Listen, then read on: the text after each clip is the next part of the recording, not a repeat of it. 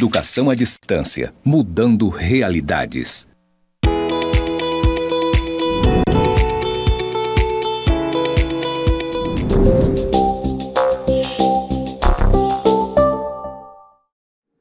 Olá, seja muito bem-vindo, muito bem-vinda na nossa aula número 3. Nesta aula nós iremos conversar sobre normas e padronização científica. Estou aqui com você, sou a professora Maria Alva de Souza Silva. É, e antes de a gente fazer a, a, a, explicação do conteúdo, eu farei a minha audiodescrição, tá?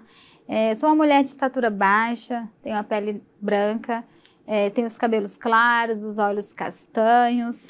Eu estou trajando uma calça preta, uma blusa verde e um blazer na cor bege. Eu estou aqui no Instituto Federal de Rondônia, campus Porto Velho, Zona Norte, no estúdio de gravações. Atrás de mim tem uma parede branca com uma figura geométrica interligadas por traços e pontos. À minha esquerda tem outra parede branca com as iniciais EAD, que significa Educação à Distância. E logo abaixo está dizendo Mudando Realidades. Então a gente vai dar continuidade dos nossos estudos, aqui entrando na nossa aula número 3, vamos conversar sobre normas e padronização científica. Eu sei que você está bem aí é, ansioso ou ansiosa para a gente poder já mergulhar nessas regras aí para a gente fazer o nosso, nosso projeto de pesquisa, não é isso?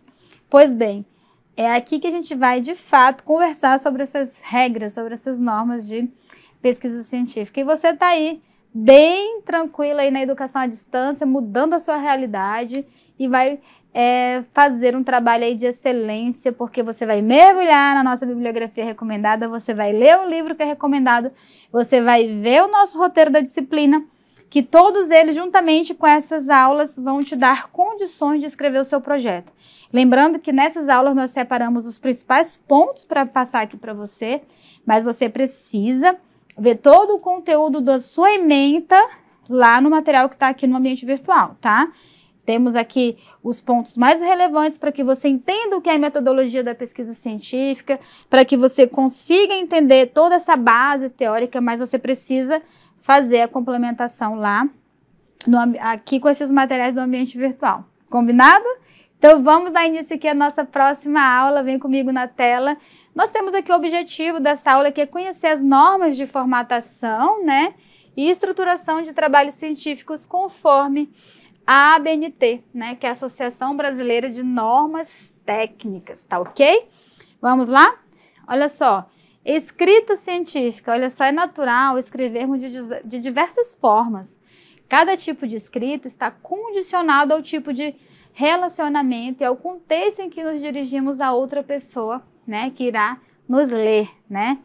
Ser técnico numa situação informal pode gerar estranhamentos e ser informal nos casos de formalidade é, predeterminada pode lhe custar o emprego ou, né, a empresa. Então é por isso que eu quero te contar que a escrita científica ela é importante. Nós sabemos que em ambientes informais não tem aquela exigência de falar de forma, de forma tão formal, porque causa um certo estranhamento, né? Mas na pesquisa científica, nós precisamos seguir alguns padrões de norma culta da língua. Nós não vamos escrever de qualquer forma, nós temos é, que escrever é, de forma científica, de forma técnica, né? Afinal de contas, nós estamos produzindo ciência, não é isso? Então vamos lá, muito cuidado aí na forma de escrever, porque dependendo da situação, isso pode te custar um emprego ou até mesmo a sua empresa. Não é isso? Olha só. Deixa eu te contar mais aqui do nosso conteúdo. Ó. É comum as pessoas ficarem bem à vontade né, para escrever nos e-mails e assim abusarem das abreviaturas, né? Símbolos, emotions, por exemplo, né?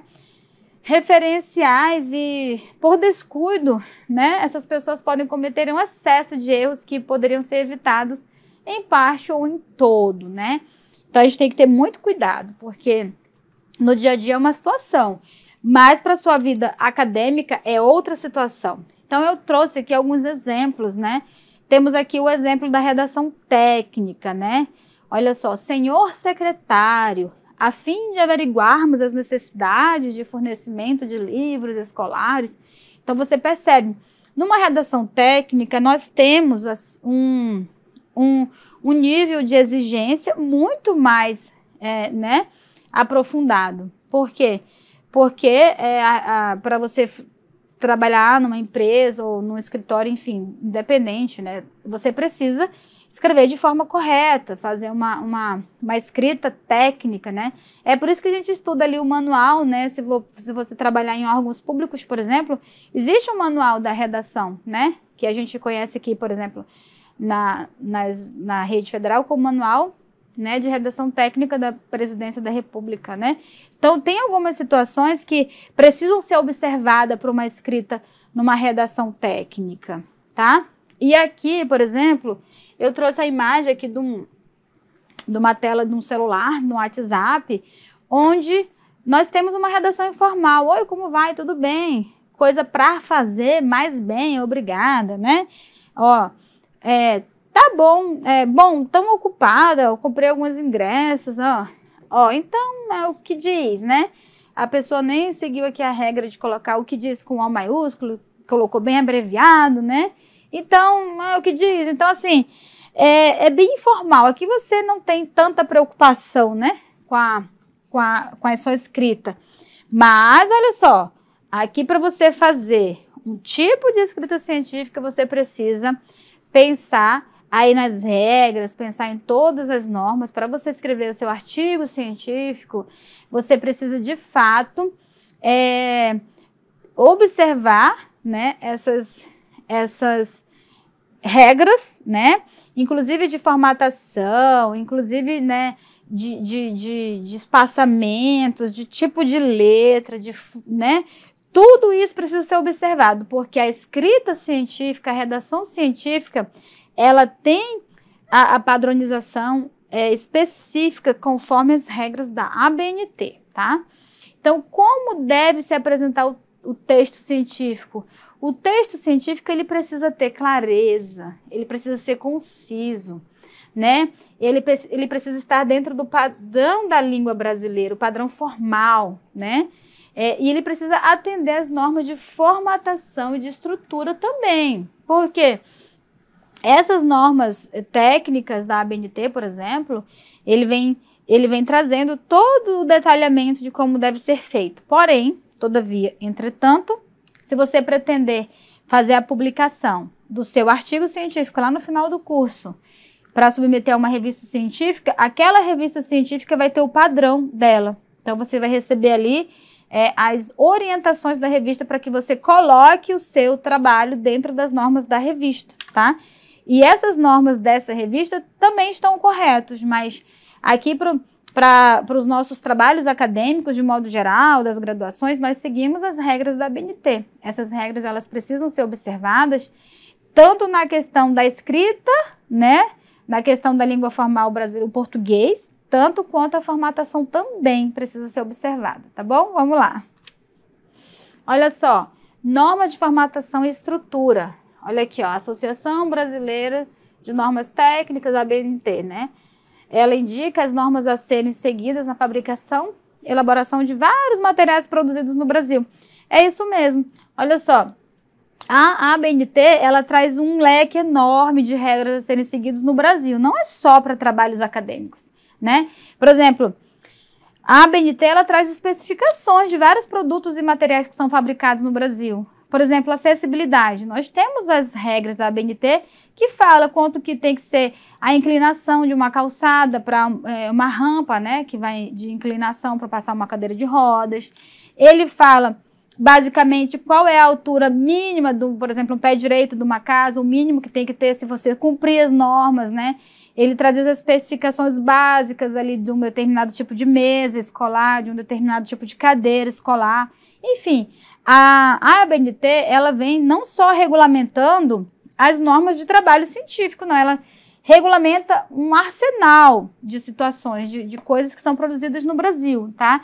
É, é, esses espaçamentos ali, é, inclinação de escadas, tudo isso, quando a gente vai ali contemplar, por exemplo, a acessibilidade. Então, tem várias regras que a ABNT vem aí trazendo para a gente ter condições de fazer é, é, produtos e, e, e, espaços com, com tamanhos apropriados, tá? Então, não é só para trabalho acadêmico, não, tá certo? Vamos lá. Olha só, aqui quando a gente fala das normas de formatação da estrutura de um trabalho, Nós trabalhamos ali com papel branco de formato A4, né? Aquele bem comum lá do A4, né? Com digitação no, no anverso das folhas e impressão em cor preta, à exceção das ilustrações que podem utilizar cores, tá? Então, as ilustrações podem utilizar cores. Se você, por exemplo, produzir um gráfico, né? Aí precisa fazer com cores, beleza, tranquilo. Mas é, não vai pesar a mão também, porque a gente tem que pensar em algo que fique apropriado, né? Então, letra, né? Tamanho 12 para os textos em geral, né? É, menor tamanho 10 nas citações com mais de três linhas, né?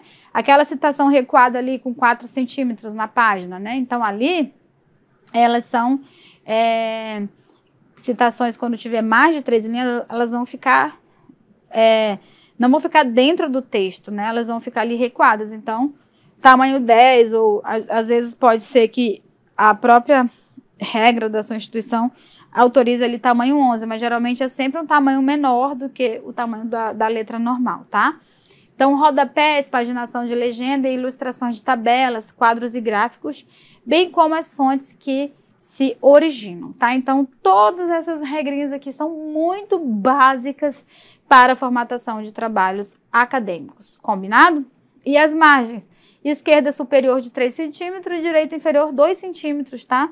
Conforme a figura que vocês vão poder ver. E deixa eu passar aqui. Vai estar tá bem aqui essa figura, tá? Já já apresento ela para vocês, tá? E curiosidade, ó.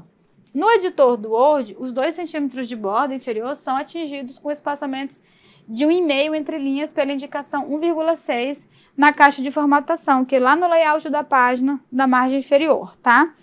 É, vou deixar o um modelo para vocês aqui no ambiente virtual, vocês vão, esse modelo já vai estar com todas as formatações que você vai poder observar ele de forma bem é, mais tranquila, tá? Disposição dos textos em geral, alinhados de forma justificada, né?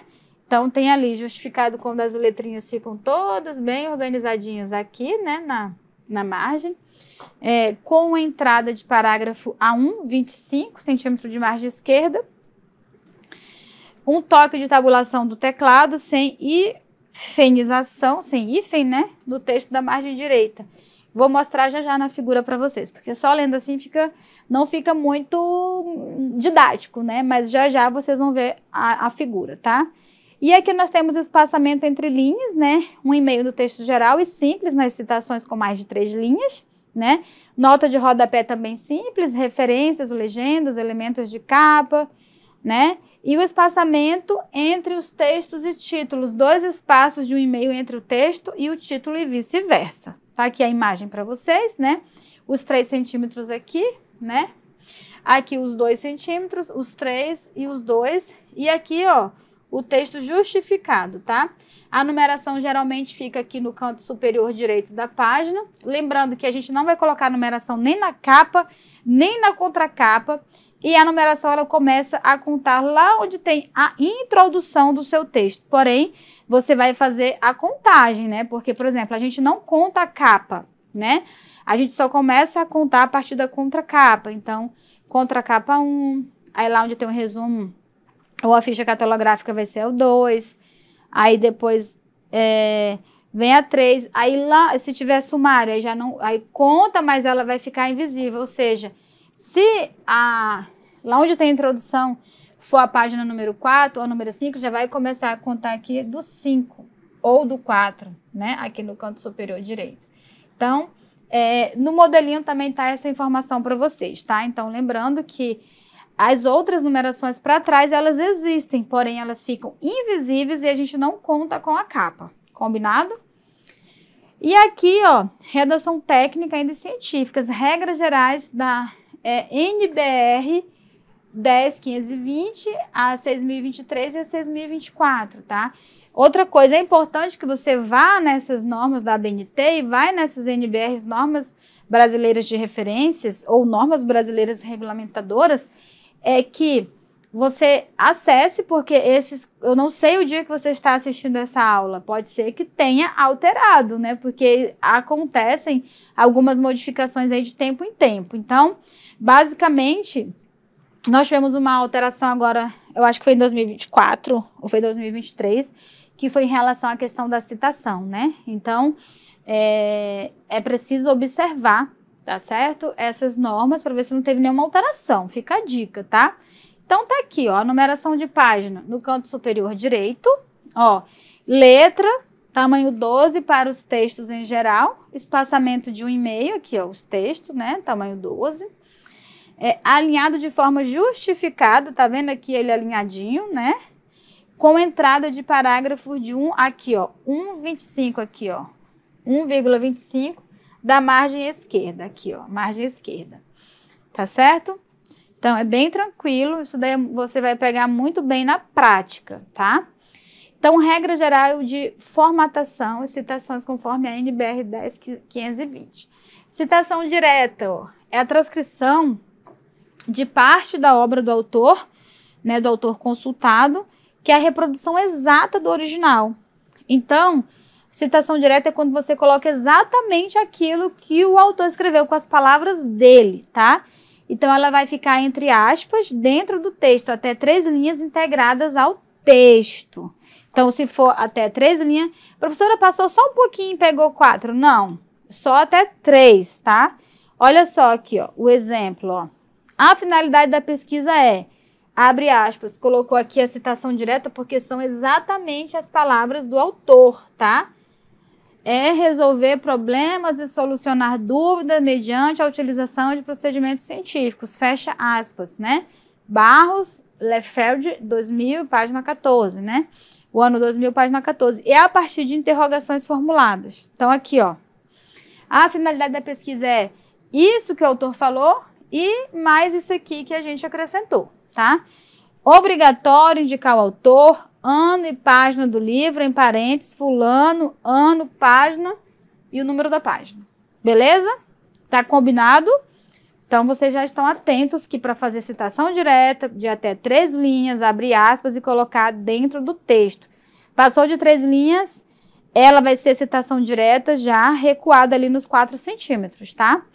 Que essa recuada ali nos 4 centímetros é quando é uma citação direta e longa. Olha só.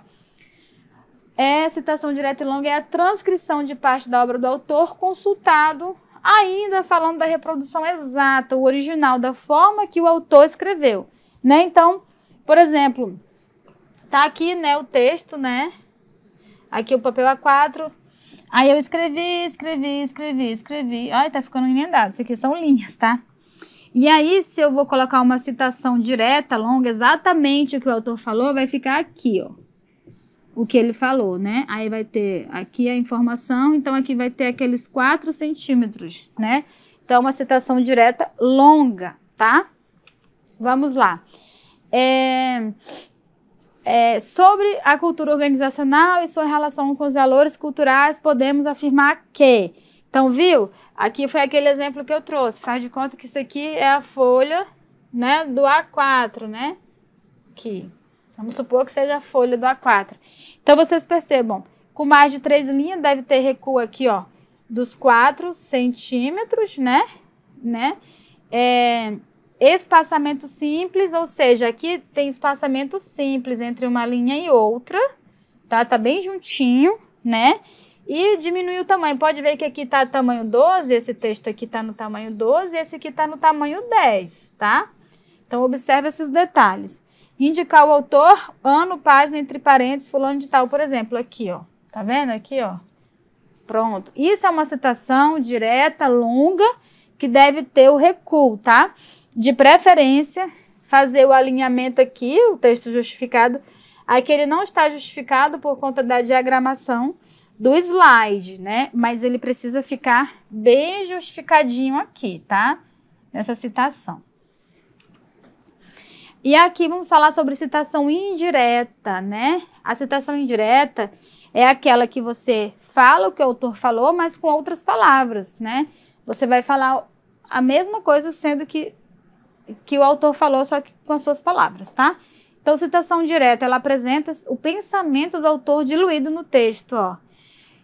É, dessa forma, é preferível começar de forma organizada o trabalho, escolhendo os textos que, geralmente, que, que realmente irão contribuir para aprofundar o tema a ser desenvolvido na pesquisa. Tá? Isso aqui é, é uma orientação do autor Gerard, tá?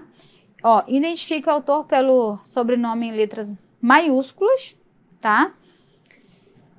Dentro dos parênteses, juntamente com o ano de publicação, separados por ponto e vírgula, tá? Então, a citação indireta. Quando é citação indireta, a gente coloca tudo em caixa alta, separado por ponto e vírgula, para você, só de a pessoa ler ali e ver que tem aquela, a, da, daquela forma, já vai saber que é uma citação indireta, tá?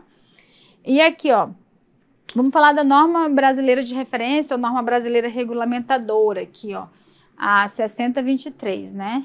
Que são as referências, que é um conjunto de padr é um conjunto padronizado de elementos descritivos retirados de documentos que permite a sua identificação individual, tá? Um exemplo, ó. As referências devem ser elaboradas em espaço simples, alinhado à margem esquerda do texto e separados entre si por linhas em branco de espaço simples, tá? Então, bem tranquilo para vocês também. Tá aqui, ó. Foi extraído lá da BNT, lá de 2002, tá? E aqui, gente, ainda trazendo aí é, a questão das referências, né? Quando a gente coloca lá nas referências, a gente vai colocar aqui, ó, o sobrenome, aí depois o primeiro nome. Ó, Sonhos Maravilhosos, tá? Título da obra tá em negrito, né? Sexta edição, a cidade, né? A edição, o local, a editora e o ano, tá? Então, dois autores até três autores, fica assim, ó, sobrenome, o prenome. O que, que é o prenome? É o primeiro nome, né? Porque nome, gente, não é o primeiro nome, nome é o todo. Nome é, por exemplo, Maria Alva de Souza Silva é o meu nome. Então, qual é o seu prenome? Maria Alva. Qual é o sobrenome? Souza Silva, tá? Então, vocês precisam ficar atentos que o nome é o conjunto, é o todo, tá? Tanto juridicamente quanto aqui para as normas da pesquisa científica, tá? Aí aqui, sobrenome, tá vendo? Em, em letras garrafais. O prenome, o título da obra, o local, a editora e o ano, tá? Dois autores ou até três autores, ó. Santos, vírgula, Lucas. Então, eu sei que aqui é um. Aí, ponto e vírgula vai começar o outro, que é Ricardo Câmara. Fica Câmara, vírgula, Ricardo. Então, com, entenderam? Ó? Quando tem vírgula, é porque ainda é o nome da mesma pessoa, tá? E ponto e vírgula aqui, ó, que separa entre um autor e o outro autor, tá? E aqui eu trago as referências do nosso, do nosso trabalho, da nossa apresentação da aula para você, tá certo? Continuando com as nossas referências e eu quero te desejar bons estudos. Eu espero que você tenha começado a entender aí as nossas regras da BNT, mas eu preciso que você se aprofunde no material que foi colocado à sua disposição aqui no ambiente virtual, tá certo? Aqui a gente traz as noções para você entender e a gente vai conversando, conversando. Eu espero receber teu e-mail. Eu espero que você esteja presente no nosso encontro síncrono para a gente poder conversar ainda mais, você poder tirar suas dúvidas, tá? Mas se você não é, está assistindo essa aula em outro momento e não participou do encontro síncrono, não tem problema. Acesse as referências recomendadas que você vai ter total condições de escrever o seu trabalho aí de forma excelente. Combinado? Até a próxima aula.